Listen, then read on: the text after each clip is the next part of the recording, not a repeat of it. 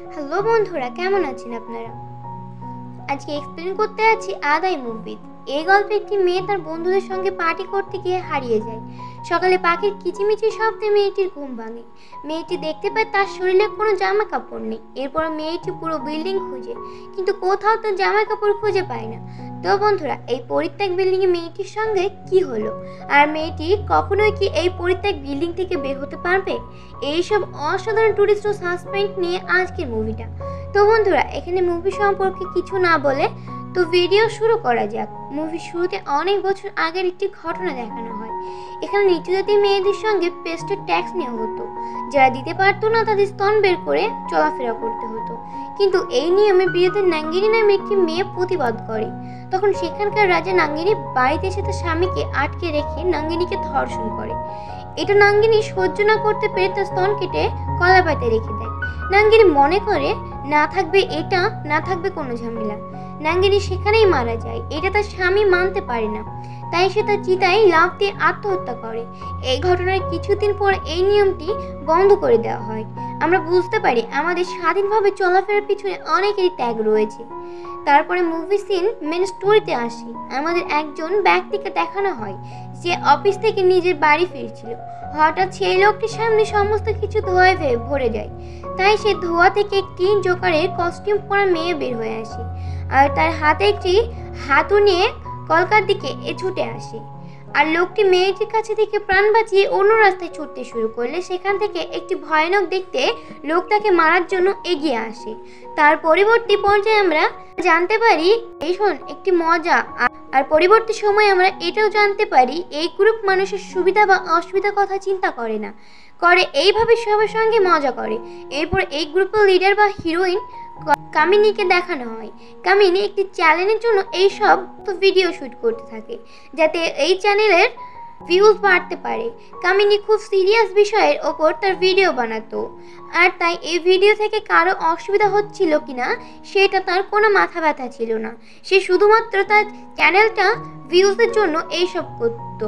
মুভির পরের সিনে আমাদের এই মুভির তিনজন মেম্বারকে দেখানো হয়, যাদের নাম ছিল গৌরী, সুকুমার এবং আকাশ। এরা নিজেদের মধ্যে গল্প করতে থাকে। আর তখন সেখানে তাদের বস এসে তাদের জানায় এই অফিস অন্য বিল্ডিংয়ে শিফট করা হবে। আর আজ সন্ধ্যের মধ্যে সমস্ত জিনিস অন্য বিল্ডিংয়ে নিয়ে যাওয়া হবে। তাই তোমরা নিজেদের কাজ তাড়াতাড়ি শেষ করো। এর পরের সিনে আমরা কামিনীর মাকে দেখতে পাই। আর এখানে আমরা কামিনী সম্পর্কে অনেক কিছু জানতে পারি। আসলে কামিনী ফেমিনিস্ট আইকোলজিক ছিল। আইকোলজি ছিল সে কোনো বাঁধন ছাড়া লাইফে বাঁচতে পছন্দ করত। কিন্তু কামিনীর মা লক্ষ্মীর এই সমস্ত লাইফস্টাইল পছন্দ ছিল না। তাই তারা মা কামিনীকে বলে, তুমি অন্য মেয়েদের মতো ভালো ড্রেস পরো না। কেন? আর কোনো এবার শাড়ি পরো না। আর তার সঙ্গে কামিনীর মায়ের ইচ্ছা ছিল কামিনী এই সমস্ত ভিডিও করা বাদ দিয়ে একজন ভালো নিউজ অ্যাঙ্কর হতে। আর এই সমস্ত ইচ্ছা পূরণ করুক। কিন্তু কামিনী তার মা সমস্ত আশাতেই জল ঢেলে দেয়। আর এই সমস্ত সব তার বন্ধুদের নিয়ে সবসময় একটি উদ্যর্ত লাইফ এনজয় করতে থাকে। আবার মুভির পরের সিনে আমরা আসি। রেস্টুরেন্টে আর সেখানে তার একটি প্রাঙ্ক ভিডিও চ্যানেলের মেম্বার সুকুমারকে দেখি। সে কামিনীর একজন ভালো বন্ধুও ছিল আর সে কামিনীর মনে মনে ভীষণ ভালোবাসতো। তো সুকুমার একদিন কামিনীকে প্রপোজ করে দেয়। কিন্তু কামিনী জানায় সে এই সমস্ত প্রেম ভালোবাসায় বিশ্বাস করে না। তাই কামিনী সুকুমারের প্রস্তাব রিজেক্ট করে দেয়। সুকুমার যখন কামিনীকে প্রপোজ করেছিল, তখন দূর থেকে তাদের দুই বন্ধু সেই মুহূর্তটাকে ক্যামেরা বন্দি করে ফেলে। আর এই জিনিসটা যখন সুকুমার লক্ষ্য করে, তাই সে নিজের সম্মান বাঁচানোর জন্য কামিনীকে বলে। সে তো জাস্ট মজা করছিল। এটা বলে সে এই ঘটনাটি হ্যান্ডেল করে নেয়। এরপরে সিনে কামিনীকে তার এক বান্ধবী জিনের সঙ্গে দেখা করি, যিনি একজন নিউজ অ্যাঙ্কার তাই কামিনী তাকে মজা করে বলে, তোমার কাজ তো খুব সহজ, কিছু করার প্রয়োজন পড়ে না, শুধু বসে বসে নিউজ পড়ো। তখন যিনি বলে, যতটা সহজ তোমার মনে হয়, এতটা সহজ না। আমাদের সব কিছুর ধ্যান রেখে কাজ করতে হয়। কোথাও একটু ভুল হলে চাকরি সেখানে শেষ। যিনি আরও বলে, অনেক নিউজ অ্যাঙ্কাররা বিকিনি পড়ে নিউজ পড়ো। তো কামিনী তুমি সেটা ট্রাই করতে পারো। তুমি শাড়ি পরে নিউজ কমপ্লিট করা তোমার দ্বারা সম্ভব নয়। এটা সাইদ কামিনী শাড়ি পরে নিউজ পড়া চ্যানেলে জানায়। কিন্তু জেনির তারা থাকায় কারণে সে ওখান থেকে চলে যায়। আবার নিউজ পড়ার সময় চলে আসে। কিন্তু জেনিকে কোথাও পাওয়া যায় না। তো তার বস ভীষণ রেগে যায়। তখন কামিনী তার বসের কাছে বলে, সে নিউজ পড়বে। প্রথমে তার বস মানা করলেও পরে তার বস রাজি হয়। তখন কামিনী নিউজ পড়তে শুরু করে। তখন সে খুব ভালো করে কমপ্লিট করে দেয়। আর সেটা দেখে সেখানে থাকা সবাই অনেক অবাক হয়ে যায়। কারণ কামিনী প্রথমবার নিউজ পড়ছিল। আর কামিনী মাও তার নিউজ অ্যাঙ্কারিং দেখে অনেক খুশি হয়। তখন আমরা দেখি জেনি সেখানে হাজির হয় আর কামিনীকে নিউজ পড়তে দেখি সে অনেক সন্দেহ পায়। তাই সে বলে, তাকে বাথরুমে লক করে দিয়েছিল।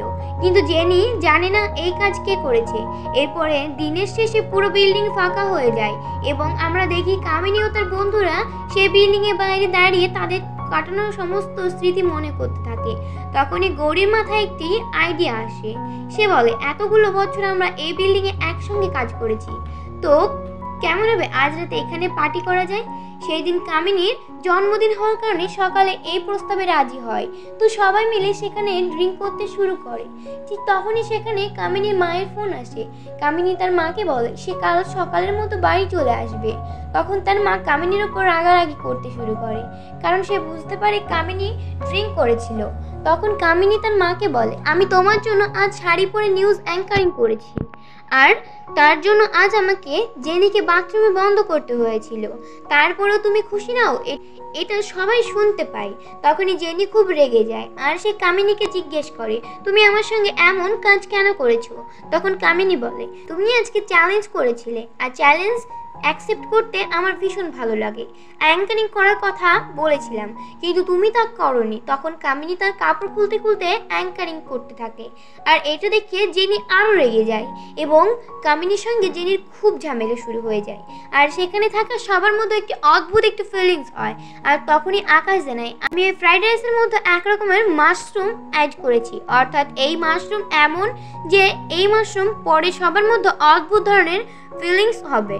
তো যাই হোক, তারা ওই নেশায় মেতে থাকতে শুরু করে। আর অন্যদিকে কামিনীর মতো অদ্ভুত ধরনের ফিলিংস হয়।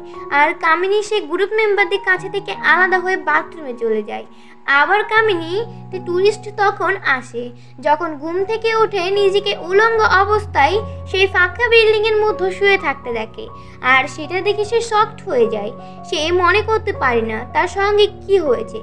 কামিনী গত রাতে সমস্ত ঘটনা মনে করতে শুরু করে। তখন মনে হয় হয়তো জেনি প্রতিশোধ নেওয়ার জন্য তার সাথে এই অবস্থা করেছে। পুরো অফিসে কামিনী তার নিজের কাপড় খুঁজতে থাকে। কিন্তু সে কোথাও তার কাপড় খুঁজে পায় না। এমনকি নিজের শরীর ঢাকার জন্য সে একটি কাপড়ের টুকরাও খুঁজে পায় না। তখন তার নজর একটি কাঁচের টুকরো মেলে আর সেটা দিয়ে তার বাড়ির সামনের অংশ ঢেকে ছাদে চলে যায়। হয়তো সে সেখানে তার জামা কাপড় পেয়ে যাবে, কিন্তু ছাদে গিয়েও কামিনী কিছু পায় না। আবার অন্যদিকে এই বিল্ডিং এর সামনে বিল্ডিং এ কাজ করা একটি লোকের নজর পড়ে যায়। ওই বিল্ডিং এ তার মনে হয় নিশ্চয় ওই বিল্ডিং এ কেউ আছে। কারণ কামিনী যে কাজ দিয়ে নিজের শরীর ঢেকেছিল, তার আলো পড়ছিল। তখন হঠাৎ তার হাত থেকে ওই কাজটি পড়ে ভেঙে যায়। আর সে হতাশ হয়ে এখানেই বসে পড়ে। কামিনীর জল তেষ্টা পেলে সে নিচে চলে যায়। তখনই ওই লোকটি কামিনীর বিল্ডিংয়ে আসে, এটা দেখার জন্য। সেখানে কেউ আছে কিনা? তো কামিনী বুঝতে পারে কেউ এই বিল্ডিংয়ে আসছে। সে দৌড়ে গিয়ে দরজা বন্ধ করে দেয়, কারণ সে ওখানে বিনা কাপড়ে ছিল। আর সে রিস্ক নিতে পারছিল না, কারণ যে আসছে সে তাকে সাহায্য করবে না। তার সঙ্গে অ্যাডভেন্টেজ নেবে। ওই লোকটি সেখানে এসে অনেকক্ষণ দরজা ধাক্কা দেয়, কিন্তু সে সেখানে কাউকে দেখতে পায় না। না পেয়ে সেখানে থেকে চলে যায়। তার কিছুক্ষণ পর কামিনী তার ফোনের রিং শুনতে পায় এবং সে রিং ফলো করে ফোনটিকে খুঁজে ফেলে। তখনই সেখানে সে দেখে তার মা ফোন করেছে, কিন্তু কামিনী তার ফোনটি তুলে না। না, তুলতে না পেরে সে তার বয়ফ্রেন্ডকে দীপককে ফোন করে। কিন্তু কামিনীর ফোনে ব্যালেন্স না থাকার কারণে ফোন যায় না। তাই কামিনী ব্যালেন্স মারার জন্য কাস্টমার কেয়ারে ফোন করে। তারপরে একজন ফিমেল ক্যাম্প কামিনী ফোনটি রিসিভ করে। তো কামিনী সেই মেয়েটিকে বলে, আমি একটি ফাঁকা বিল্ডিংয়ে আটকে গিয়েছি। তুমি প্লিজ আমার নাম্বারে কিছু ব্যালেন্স মেরে দাও। আমি এখান থেকে বের হওয়ার পর তোমাকে তোমার টাকা দিয়ে দেব। কিন্তু কামিনীর কথায় সে মেয়েটি বিশ্বাস করে না। প্রাঙ্ক কল করে ফোনটি কেটে দেয়। তো কামিনী হতাশ হয়ে এই দিকে ওই দিকে ঘুরতে শুরু করলে। সে ডাস্টবিনে একটি ফুডের প্যাকেট দেখতে পাই। তাই কামিনী সেখানে থাকা নাম্বারে ফোন লাগিয়ে দেয়। তো ওপর দিক থেকে একটি মেয়ে কামিনীর ফোনটি রিসিভ করে। তো কামিনী সেই মেয়েটি কাছে থেকে খাবার অর্ডার করে দেয়। অন্যদিকে কামিনী সেই মেয়েটিকে রিকোয়েস্ট করে তারা যেন কোনো ডেলিভারি গার্লকে অর্ডারটা পাঠায়। কিন্তু সেই সময় সেখানে কোনো মহিলা ছিল না। তো কামিনী যে কাউকে দিয়ে তার খাবারটি পার্সেল করে দিতে বলে। কামিনী তার সেফটির জন্য একটি লোহার রড নিয়ে ওই ডেলিভারি বয়ের জন্য অপেক্ষা করতে থাকে। কামিনীর প্ল্যান কিছুটি এই রকম ছিল। যখনই সে ছেলেটি আসবে, তখনই কামিনী তাকে আঘাত করে অজ্ঞান করে দেবে। আর তারপরে ডেলিভারি বয় জামা খুলে সে নিজে পরে নেবে। তো কিছুক্ষণ পরে একটি ডেলিভারি বয় কামিনীকে খাবার নিয়ে আসে। আর কামিনী দরজার কাছে সে লোহার রডটি নিয়ে দাঁড়িয়ে থাকে। এবার ডেলিভারি বয়ের জন্য সে দরজা খুলে দিলে সে দেখে ডেলিভারি বয় নিচে পড়ে যায় আর তার মাথা থেকে রক্ত পড়তে শুরু করে। অর্থাৎ কেউ আগেই সেই ডেলিভারি বয়কে মেরে ফেলেছে এবং এই দৃশ্য দেখে কামিনীর হাত থেকে লোহার রডটি নিচে পড়ে যায়। কামিনী সেই দরজার বাইরে দেখলে সে কাউকে দেখতে পায় না। কামিনী সেই ডেলিভারি বয়কে সোজা করলে সে দেখে সে আসলে কোন ডেলিভারি বয় নয়, সে একজন মেয়ে। তো কামিনী কিছু বুঝতে পারে না। মেয়েটির সঙ্গে কি হয়েছে? কিন্তু তো সে কোনো কিছু না ভেবে তার পোশাক খুলতে থাকে। আর ঠিক তখনই মেয়েটির জ্ঞান ফিরে আসে এবং মেয়েটি কামিনীর হাত ধরে ফেলে। অর্থাৎ কামিনী ভয় পেয়ে যায়। হাতে থাকা রড দিয়ে মেয়েটির ওপর আঘাত করে আর মেয়েটি সঙ্গে সঙ্গে আবার জ্ঞান হারিয়ে ফেলে। সেই সময় সময় ওই বিল্ডিংয়ে দুটো ছেলে মজা মস্তিজ করার জন্য এন্ট্রি নেয়। কিন্তু তারা যখন ওপরে আসে তখন তারা দেখে একটি মেয়ের লাশ পড়ে আছে। কামিনী ছেলে দুটোকে দেখে ভয় লুকিয়ে পড়ে। ছেলে দুটি সঙ্গে সঙ্গে পুলিশকে ফোন করে। পুলিশ এখানে এসে পুরো বিল্ডিংয়ে তল্লাশি করতে শুরু করে এবং মেয়েটি লাশটিকে হসপিটালে পাঠিয়ে দেয়। আবার কামিনী মনে মনে, ঠিক করে, আমার ওই পুলিশগুলোর কাছে থেকে হেল্প চাইবে। ঠিক তখনই একজন পুলিশ বাথরুমে আসে। আর বাথরুমের মধ্যে পুলিশটি ফোন ফিল্ম দেখতে পায়। তখন এই বিষয়টি দেখে কামিনী ভাবে পুলিশ দুটো তার সঙ্গে কোনো খারাপ কাজ করতে পারে। তো কামিনীর সঙ্গে সঙ্গে তার মত পাল্টে ফেলে।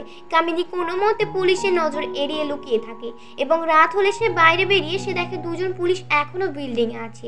তখন পুলিশগুলোর কাছে একটি ফোন আসে আর তারা এই বিল্ডিং থেকে চলে যায়। বাইরে গিয়ে একজন পুলিশের মনে হয় সে বিল্ডিং এর ভিতরে কাউকে যেন দেখেছে।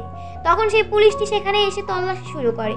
কিন্তু তারা সেখানে কিছু দেখতে পায় না। তো পুলিশগুলো সেই বিল্ডিং থেকে ফাইনালি চলে যায়। এবার সেই রাতে সে বিল্ডিং এ কেটে যাওয়া পরে পরের দিন সকালে কামিনীর ঢক্সের তার বন্ধু সুকুমারের ফোন আসে। আর সে কামিনীকে জানায়, তারা জেলে আছে। মুভির এক পর্যায়ে আমরা জানতে পারি কামিনী জন্মদিনে পার্টির পর তার বন্ধুরা ড্রিঙ্ক করে গাড়ি চালাচ্ছিল। তাই পুলিশ তাদের অ্যারেস্ট করেছে। সেই থানায় পুলিশ কামিনীকে এই শব্দ বলে আর কিছুক্ষণ এইসব কথা বলার পর কামিনীর ফোনের ব্যাটারি লো থাকায় কামিনীর ফোনটি অফ হয়ে যায়। এইভাবে দীর্ঘ সময় ধরে কষ্ট পেতে অবশেষে সে বাইরে যাওয়ার সিদ্ধান্ত নেয়। এবং দরজার নখ খুলে সে বাইরে চলে আসে এবং ডাস্টবিন থেকে তার পরার জন্য কিছু জামা কাপড় খুঁজতে থাকে। আর ঠিক তখনই সেখানে থাকা কুকুরের ডোল তাকে তাড়া করে। কামিনের জন্য বিল্ডিং এর ভিতরে চলে আসে এবং লুকিয়ে পড়ে। এইদিকে কামিনী বাড়িতে ফিরে না আসার জন্য কামিনীর মায়ের চিন্তা বাড়তে থাকে। তো কামিনীর মা কামিনীর মিসিং রিপোর্ট লিখাতে থানায় যায়।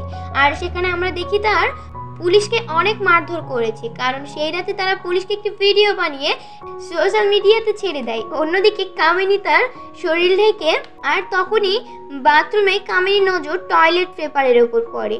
কামিনী সে পেপার জুড়ে একটি লোহার রড নিয়ে বাইরে বেরিয়ে পড়ে। আর কামিনীকে দেখে রাস্তায় থাকা সমস্ত কুকুরগুলো ভয় পালিয়ে যায়। কামিনী বাইরে যাওয়ার চেষ্টা করে, কিন্তু বৃষ্টির কারণে তার শরীরে জন্য সমস্ত টয়লেট পেপার ভিজে যায়। আর কামিনীকে আবার বিল্ডিংয়ে ফিরে আসতে হয়। বিল্ডিংয়ে আসার পর কামিনী পুলিশের লাগানো পেপার দেখতে পায়। তাই সে ওটা নিজের শরীরে জড়িয়ে বাইরে চলে যায়। এবার কিছুক্ষণ পর সে এখান দেখে একটি লোক বেরিয়ে যাচ্ছে। তখন কামিনী তার কাছে থেকে সাহায্য চায় আর সেই ব্যক্তি কামিনীকে তার কাপড় দিয়ে দেয়। এবার কামিনী লক্ষ্য করে সে আসলে সেই মেয়ে, মেয়েটা যে তাকে খাবার দিতে এসেছে। এই বিল্ডিংয়ে এসেছিল। তো সঙ্গে সঙ্গে কামিনী মেয়েটার উপরে ঝাঁপিয়ে পড়ে এবং তাদের মধ্যে একটি লড়াই শুরু হয়। কামিনী মেয়েটিকে জিজ্ঞাসা করে, তুমি কেন আমার সঙ্গে এমনটা করছ? তখন মেয়েটি জানায়, তোমার প্রাণ করার জন্য আমার জীবনটি এক বছর নষ্ট হয়ে গিয়েছে। আর তারপরেই সে তার কাহিনী বলতে শুরু করে। আর সিন ফ্ল্যাশব্যাকে আসে। আর আমরা এখানে জানতে পারি মেয়েটির নাম নাইমা। সে তার কথা কামিনীকে বলতে শুরু করে। আসলে নাইমা একটি গ্রামের মেয়ে ছিল আর সে পড়াশোনা করতে ভীষণ ভালোবাসতো। নাইমা তার এক্সামের জন্য শহরে আসে আর এক্সাম দিতে যাওয়ার সময় সে একটি মেয়েকে পড়ে থাকতে দেখে। তাই মা মেয়েটিকে বাঁচানোর জন্য সবার কাছে সাহায্য চাইতে শুরু করে আর নাইমা তাকে হসপিটালে নিয়ে যাওয়ার পথে কামিনী তাকে জানায়। এই সমস্ত একটি মজা ছিল। সেখানে থেকে সিন আবার বর্তমানে আসে এবং নাইমা কামিনীকে জানায়, তোমার মজা করার জন্য আমার একটি বছর নষ্ট হয়েছে। তখন কামিনী বলে, তোমার এক্সাম নষ্ট হয়েছে বলে তুমি আমার সঙ্গে এমনটা করতে পারলে? মেয়েটি তখন কামিনীকে বলে, হতে পারে এটা তোমার জন্য একটি সাধারণ পরীক্ষা, কিন্তু এই এক্সাম পাশ করার জন্য অনেক ছেলে মেয়ের কঠোর পরিশ্রম করে আর অনেকে আবার তাদের জীবনটি দিতে, দিয়ে দেয়। এটাও বলে, একদিন তার মা রাস্তায় জ্ঞান হারিয়ে ফেলে। তখন একটি ছেলে তাকে সাহায্য করার বদলে ভিডিও করছিল। নাইমা কামিনীকে এটাও বলে, তোমার এই মজা করার জন্য মানুষ এখন আসল মজার মধ্যে পার্থক্য বুঝতে পারে না। মজা সেটা না, যেটার জন্য মানুষের জীবনে সমস্ত সমস্যা হয়। তোমরা শুধুমাত্র চ্যানেলের ভিউজের জন্য মানুষের সঙ্গে যা খুশি থাকো। মুভির পরের সিনে আমাদের ফ্ল্যাশব্যাকের ঘটনা দেখানো হয়, যেখানে আমরা দেখি নাইমা তার চুল কেটে ছোট করেছে আর একজন ডেলিভারি বয়ের কাছে কাজ করতে শুরু করেছে। এবার রাস্তায় সে কামিনীকে দেখার পর সে কামিনীকে ফলো করে। সেই রাতে কামিনী যখন তার বন্ধুর সঙ্গে পার্টি করে নেশায় আসক্ত হয়ে যায় আর কামিনী তাদের গ্রুপে ছেড়ে বাথরুমে চলে যায়। তখন নাইমা কামিনীকে বাথরুম থেকে নিয়ে এনে তার সমস্ত জামা কাপড় খুলে ফেলে এবং অফিসে থাকা সব জামা কাপড়গুলি সেখান থেকে ফেলে দেয়, যাতে শরীর ঢাকার জন্য কামিনী এক টুকরো কাপড়ও না পায়। আবার কামিনী একা বিল্ডিংয়ের মধ্যে কি করবে? সেটা দেখার জন্য নাইমা সেই বিল্ডিংয়ের মধ্যে লুকিয়ে থাকা। আবার যখন ডেলিভারি বয় কামিনী খাবার নিয়ে আসে নাইমা বাইরে এসে সেই ডেলিভারি বয়ের কাছে থাকা খাবার নিয়ে নেয়। তো কামিনী নাইমার কাছে থেকে সমস্ত কথা শোনার পর কামিনী বুঝতে পারে, নাইমা কামিনীকে এটা বলে, আমি তোমার ক্ষতি করার জন্য এই সমস্ত প্ল্যান করিনি। শুধুমাত্র তোমাকে তোমার ভুল ধরিয়ে দেওয়ার জন্য এই সব করেছি। আমি এই সমস্ত কথা শোনার পরে কামিনী তাকে জড়িয়ে ধরে এবং সেখানে মুভি সিন এক বছর পরে দেখানো হয়, যেখানে আমরা দেখি কামিনী তার প্র্যাঙ্ক ভিডিও করা ছেড়ে দিয়েছে স্টিম অপারেশন করতে শুরু করেছে। অন্যদিকে নাইমা ইউপিএসসি কোর্স নিয়ে পড়াশোনা করতে শুরু করেছে। আর মুভিটি এখানেই শেষ হয়ে যায়। তো মুভিটি ভালো লাগলে একটি লাইক ও কমেন্ট করে জানাবেন।